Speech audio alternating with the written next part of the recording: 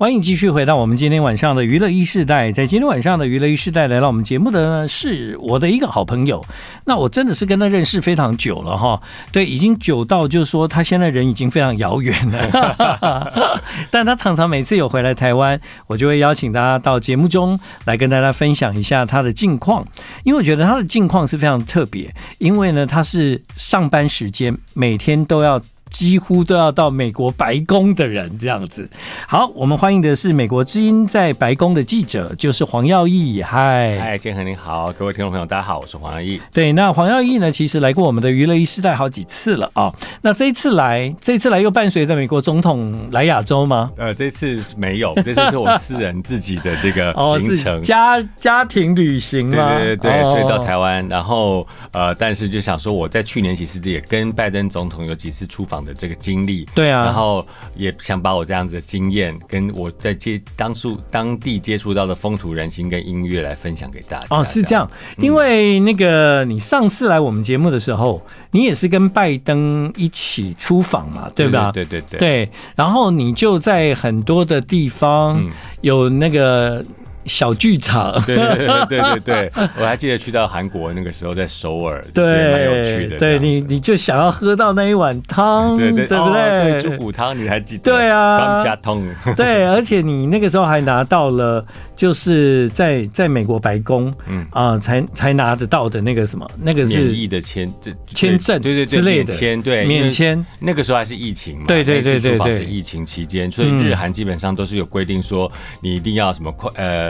要阴性啊，然后还要隔离几天啊，对不对？观察，但是你要跑新闻不可能嘛，跟着总统跑。后来就是白宫帮我们做了一个有点像外交泡泡这样子的，我们就可以团进团出。哦，对，我记得去年好像我们聊到了很多这方面的事情。是的。另外，你还聊到了你到白宫参加记者会，然后呢，那个门打开是 BTS 走进来。对对，超 surprise。对啊，然后还创下你的 Twitter 最高的那个最高的点，对点那个点赞率，而且是。非常快啊，大概一小时之内就已经到百万。我说哇天哪，这个 Army 太厉害！哇，这真的是超级流量哎。对，好像隔了一年哦。嗯。对，一年了，一年又过去了。对，所以这一年你也常跟着拜登总统到处去，这样。是的，所以去年呢，呃，跟拜登总统去了两次不同的呃地方，一次就是去到这个日本，嗯，然后在那边参加这个所有的日本的 G7 七国七大工业国的这个峰会，这样子到日本的广岛。对。然后在广岛之后，我有稍微在日本的这个所谓的中国地区，地区对，在那边呃旅游。每次看到他那个报纸，早上旅馆报纸中国新闻，我说是。哪里来的新闻？对，好，因为在日本有一个地方叫中国，嗯，对，它其实是一个蛮大的的地方，这样。那当然，它也有中国电视台，对，中国电视台，中国报纸啊，对，可能也有中国广播公司吧，我在想。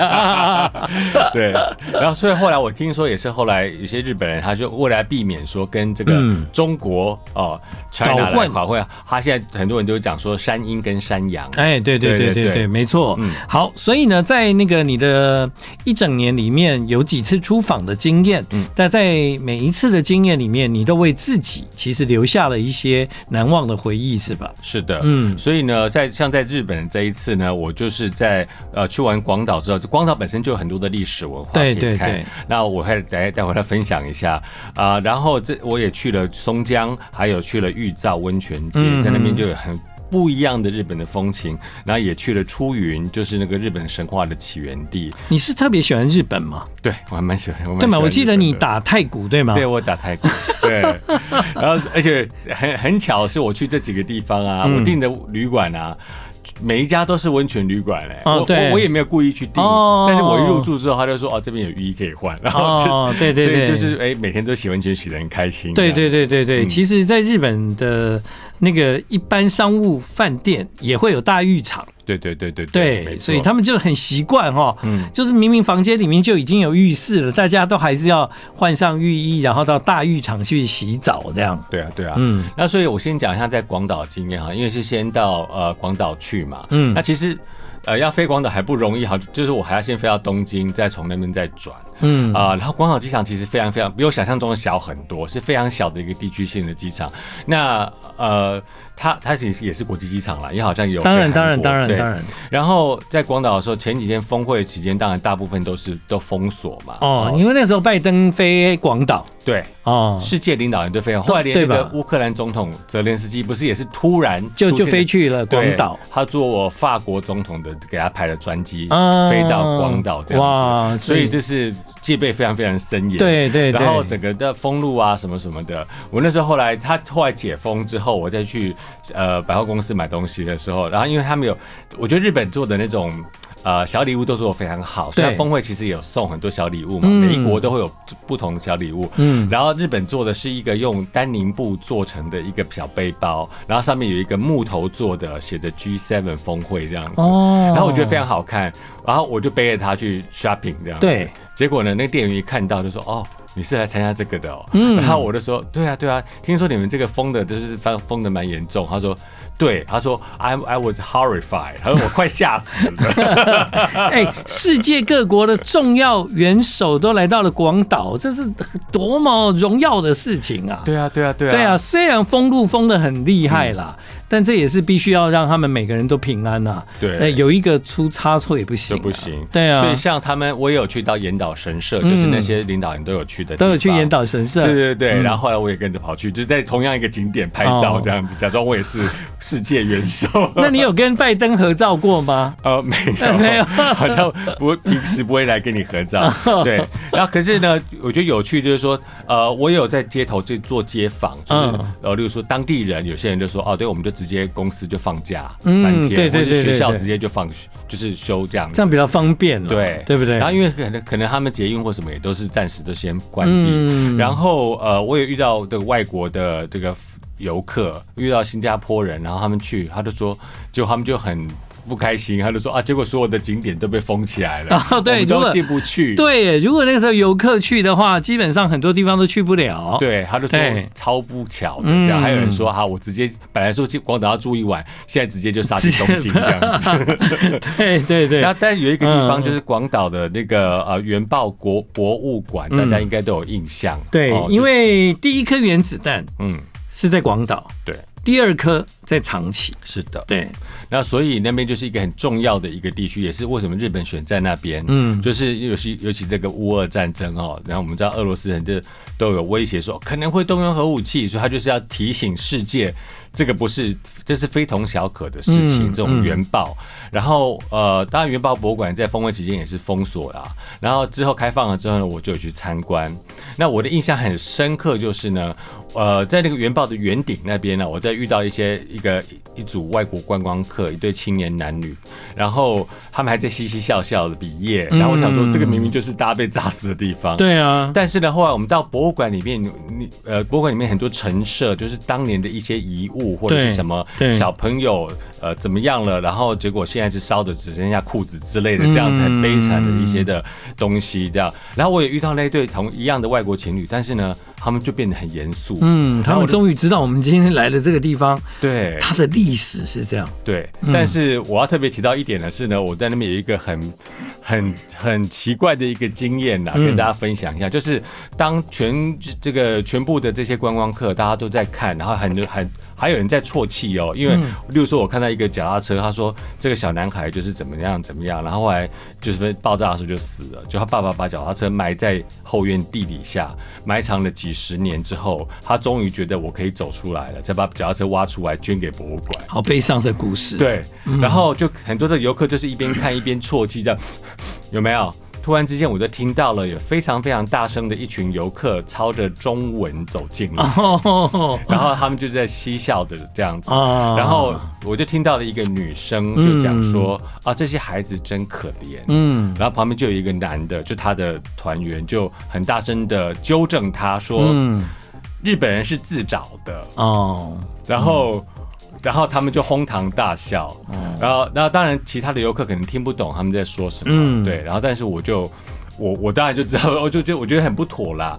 然后，但是他因为他们继续的嬉闹跟嬉笑呢，导致了全场的游客就这样，嘘，哦，虚他们。全部哦，哎，这真的那个地方啊，如果你去了那个地方，用这样的态度，嗯，对不对？对。对啊，然后所以说，我觉得那是我一个很难得的体验，这样子。嗯所以在那个地方，我觉得就是有这个历史的沉重感。嗯，对其实你到世界很多地方都有类似的场所，比方说我去以色列，就就会有犹太人的犹太人的纪念馆，对对吧？哈，那都是非常伤痛的过去，对，没错。哇，那。真的很可怕，这样。对，哈、好啦，我们必须要尊重这个历史发生过的每一件事情，这样，但希望也从历史能够得到一个借鉴，没错，嗯。对，所以他呃，然后除了这个比较这个沉重的之外呢，当然在广岛呢，我有一个开心的一个发现，对他去逛了唱片行，对我看哎到的一个唱片行，这个 Tower Records，是，我一直以为他已经全世界都倒光哦，了，你觉得都没有了是？对，然后我看到嗯。实体的唱片行，让我非常的非常的很兴兴奋，对。然后呢，你就你就买了，对，我就在那边试听，就听到了这个日本的一个乐团叫做 Douglas，他的这个专辑。嗯嗯，我们就来听一下他的歌曲《祈祷》。I like 回到了今晚的娱乐一世代。今晚来到娱乐一世代的朋友，他是美国之音的白宫记者黄耀义。嗨，嗨，大家好，我是黄耀义。那黄耀义呢，在前一阵子啊，就是也跟着这个美国总统拜登去了那个广岛参加那个，G7 的峰会这样子。对对对对，然后这这真的很难想象，我的朋友竟然有人会 会参加这种哎哦，对，我觉得蛮有趣的，因为广岛毕竟我刚刚我们刚刚也谈到，就是历史文化很深厚的一个地方，嗯就是二战的这个原子弹的历史。那么我还记得最后一天呢，我们是这个日本的首相岸田文雄开记者会的时候，嗯我也有去，我就坐在他前，当然坐在第三排。嗯但是我们是在露天的场地，为什么？就是在那个原爆的那个纪念公园。哦，他有一个小女孩，然后那个小女孩呢，她旁边都被大家就是用那个纸鹤哦，在那个地方为了这个和平的呈现这样一个这个永不熄灭的圣火。对对对对对，其实我自己的家人是是在长崎原爆的时候过世的。哦，嗯，我的舅舅。哇，所以是在那一场的这个灾难当中发生的事的。对啊，对啊，就在长崎嗯的原爆这样。那呃，我我后来从那个家人那边就是听到了，就是很多很多的故事，我才知道说，呃，其实呢，在那些故事里面呢、当年因为原爆的关系，真的是惨不忍睹。嗯这整个社会、整个国家几乎就是去掉半条命了，这样子。对，对，所以我看到他的原爆博物馆里面，其实他一直在强调，我觉得这也蛮是呃比较正面的一个做法。好像德国他们在面对纳粹历史的时候也是一样，所以我看他原爆博物馆一直在强调是说呢，我们是要汲取教训，并不是要告诉你说这些人有多可怜。对对对他就是说我告诉你这个是。原子弹本身是有多大的杀伤力，嗯不管发生在谁的身上都会是一样。没错不管你是日本人还是什么人，只要是你是人 生物，你就会变这个 样子。对我们祈祷世界和平啦，哈对。对啊，那前一阵子光是一个 COVID nineteen 搞到大家哪里也不能去，对对不对？那你就会知道说，其实人类是很脆弱的，是的，没有我们想象中的哦，什么人定胜天呢、对对对，哪有、对不对？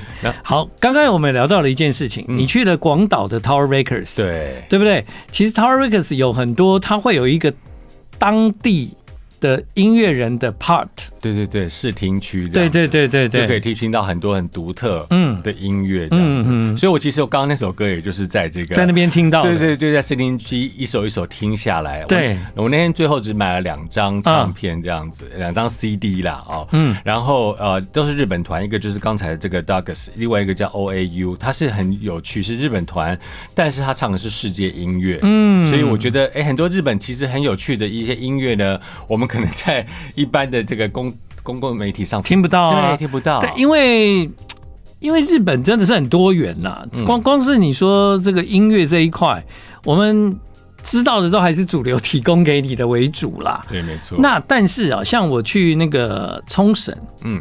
我去冲绳的 Tower Records 啊，我就是很爱逛他那个冲绳那一个部门。嗯，那我我一进去都可以好几个小时，因为我本身就很热爱冲绳嘛。对。然后他们的音乐有一种独特的风格，对对对，然后不管是传统还是现代，他们会做一种很棒的那个 remix，这样就是把那个文化做的让你觉得哇，这些人做歌好有创意哦，好好听哦，这样，所以我都花很多时间在那边试听。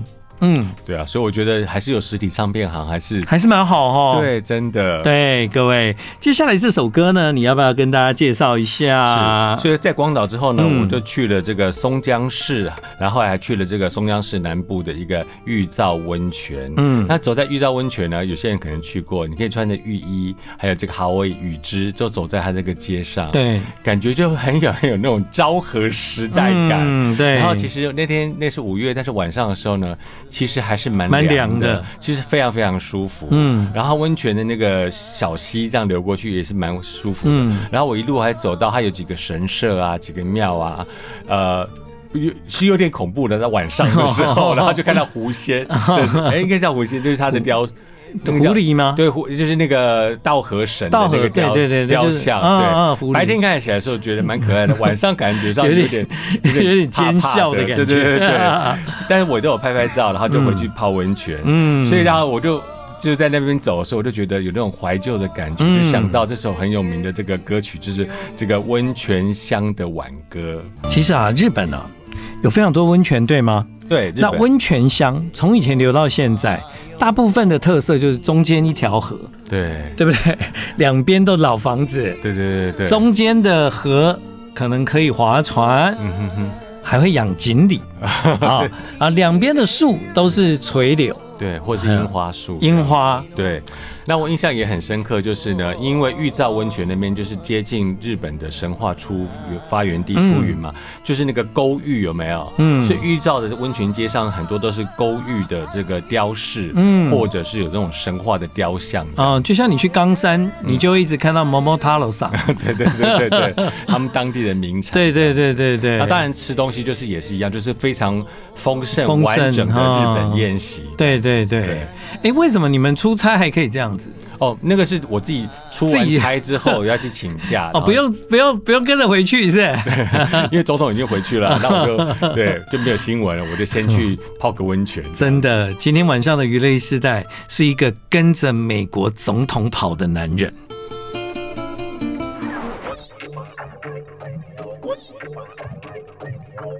回到今晚的娱乐一世代，嗯，那个，呃，刚刚都在听你讲日本哈，对啊，我知道，因为你真的是很喜欢日本啦。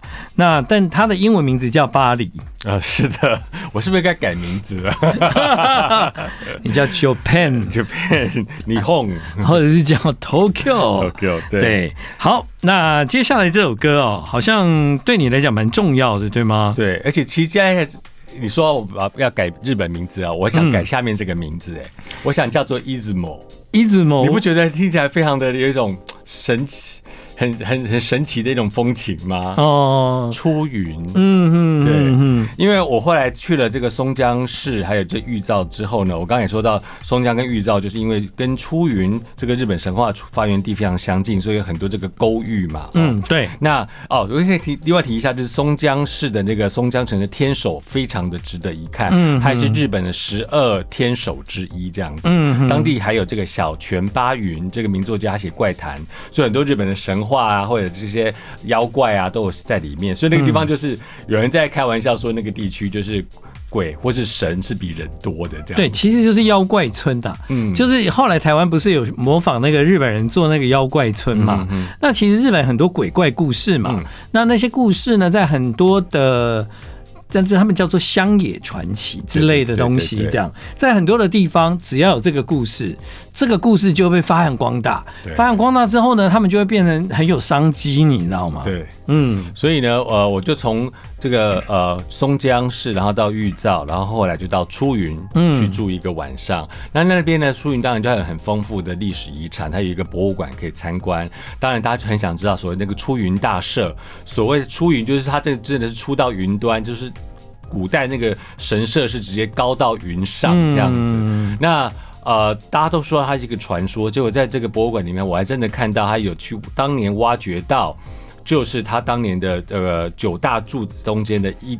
一一小部分而已，那光是那一小部分的柱子就是非常非常的巨大，嗯，就表示如果说你有九根那么那么大的柱子，真的是可以撑起一个很高很高的神社的。对，其实它包括那边的树，嗯，那边的树也都是那种真的是让人心生敬畏。对，而且也可能因为它的树都很高很这对个呃，而且它也比较没有污染，它是一个比较属于较乡间的地方，空气非常非常非常的好。嗯所以很多人说一走到这个出云大社里面啊，哈，就觉得整个这个心身心灵有洗涤的感觉。哎这个呢，我又可以帮你这个稍微的呃跟大家介绍一下啦。通常这种地方呢，日本人叫做灵气景点，灵气景点，嗯嗯，就是是一个灵气景点，就代表这个地方很有那种仙气这样子。对对对，所以我有去，对对我有去被仙气 洗对对对洗对了一番这样。是，那你所以你今天要播的这首歌是什么？对，所以这首歌呢，其实是那个日呃电影《神隐少女》里面的一个插曲哦，嗯叫做 Kami Kami Sama，嗯就是很多很多的神。嗯那我们知道那个地方出云那个地方就是很多很多神嘛。那出云那边还很有名一个地方，就是它叫做道佐之滨，大家应该有印象，在那边有一块很大的石头叫做变天岛。嗯那那个变天岛上面还有一个神社，那个地方就是神话里面呢，这个日本的这个呃呃大国之神主神呢是在那边去迎接来到日本的神明，嗯然后呢开创了这个日本的神话。那这个呃大国主神也是后来他就因此而退隐了，所以他就是住到出云大社里面去，嗯，所以那个地方是灵气景点。对，然后 对它的日落也非常非常的美，所以我就是坐在那个道祖之滨的海边啊，嗯。它就有一个让你观景台这样子，真的啊。很多很多人在当地人也都会坐在那边看，嗯然后就日落慢慢下去，然后我就说它有灵气的感觉，嗯又有海边，还有一个变天岛，他们还有神社，就很美很美，然后我就在那边坐坐坐坐到整个，我还拍一个缩时摄影这样子嗯，拍到整个太阳都不见了，对对对，然后我就后悔了，我说哦。啊，哎，没有路灯，日本很多乡间乡乡乡下是没有路灯的。的。然后我说怎么办？我要怎么回去？然后而且冷的非常快，哦 然后我一穿的很单薄，我就说，哎，我记得刚才有经过一家全家，哦我赶快想办法冲去全家好买雨。衣好了。对对对，所以我就呃，但是我在那个呃道祖之滨在等那个日落的时候呢，嗯我就一直重复在耳机里面听的就是这一首《Kami Kami Sama》。哦，真的啊、原来有这一段故事啊、所以呢，这首歌你就一直听，一直听，然后看着那个景色，这百样子万神明登陆的感觉。哇，对，大家可以想象一下。I like Ealing Sound. I like radio. 好，刚刚呢，呃，提到日本的部分呢，主要是因为那个呃黄耀义啊，他。跟着拜登总统去了日本嘛，对，所以呢，这个拜登总统回美国之后，他就留下来有自己的私人旅行。是夏威夷我倒没有听说他今年有去哦。没有哦，夏威夷是因为我在今年暑假的时候，因为实在工作太辛苦了，啊，哇，小小的犒赏自己一下。真好啊！所以在生日的时候呢，我就去夏威夷。那去到我第一次去夏威夷本岛，就是叫做嗯夏威夷大岛。通常大家去火奴鲁鲁就是在欧胡岛嘛，对对不对？那大大岛那边很有趣，就是它有火山，嗯嗯，然后它而且它是活火山。那时候我住在这个所谓的叫做 volcano house。然后它就是直接你可以看到，你窗户打开就是看到火山口，哦真的啊对对，看到它当然是走还有一段距离了。哦，但是不是好像听说现在在夏威夷也可以看到那个岩浆是吗？对还是可以对不对？看得到。那个岩浆。是的，嗯那所以说，呃，那本岛它本身就是有很多很多的这种自然生态国家对大自然对。那很有趣的是说呢，我们知道夏威夷这几年来，因为从过去的二三十年来呢，也有一个说原住民的这种主权的一个运动出现。那其实跟台湾也蛮类似的哦，就是自我认同的一个重新思考。嗯那所以现在呢，学校里面也都会教夏威夷语，甚至呢也有这个就是完全用夏威夷语来上课的学校。像我在那边，我们聘请的一个导游呢，就是他就在跟我聊天，他说基本上其实他很多人都是混血嘛，夏威夷我们知道很多日本人、什么中国人都有移民过去，韩国人也有。他说基本上他就是还有杨丽花，真的吗？在夏杨丽花杨丽花在夏夏威夷是有房子的、啊。哇，对，你知道那个台湾的旅游团哦，嗯。到了那个檀香山哦，啊，都会介绍说，哎，那一栋就是杨丽花的房子。原来，哎。我还以为唐香香大家都是去看什么国父的小学，哦。因为那个孙中山跟奥巴马念同一所，所以他们是学长弟的关系。原来如此，对，嗯，然后，所以我是在大岛嘛，然后在在夏威夷的原住民，他们现在就是始有这样的一个自我认同的重新追寻。嗯所以我那个导游他就说，基本上他他的家族血统就是有这个拉丁人，然后有夏威夷原住民，也有中国血统。他说，但是我不认同我中国的部分，这样子，我认同我原住民的部分。是对，然后所以后来我跟他聊天，刚好我那天穿的是一件台湾原住民的 T 恤，就是有图腾什么的。嗯他说这个跟我们原住民的很像，我说对啊，如果你有看那个迪士尼的卡通那个海洋奇缘 Moana。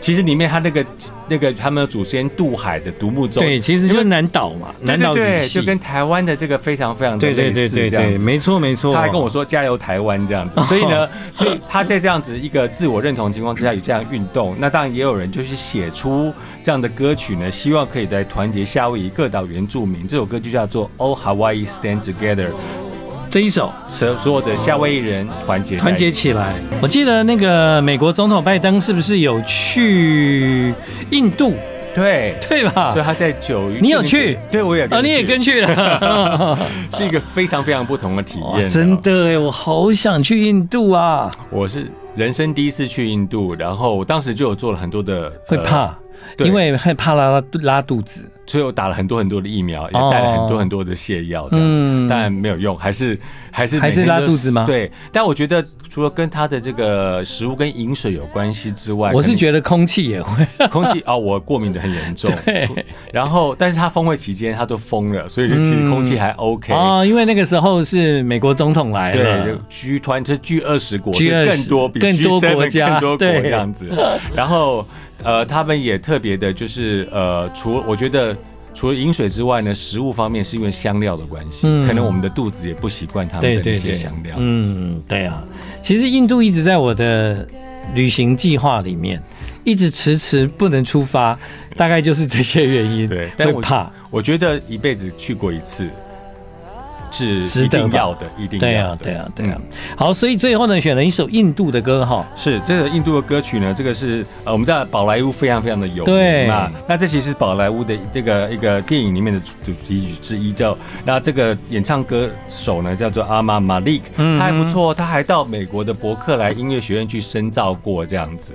那呃，对，让当他听到这种抒情的感觉，跟一般宝莱坞那种歌舞是不大一样。是的，今天非常的谢谢哦，因为在节目中呢，我们听了这个黄耀义他的故事，里面呢，当然随着那个美国总统拜登出访，然后呢，他也到了很多不一样的地方，有很多新的感受。